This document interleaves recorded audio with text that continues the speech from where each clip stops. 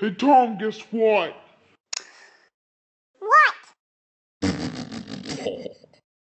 You're mugged. Hmm.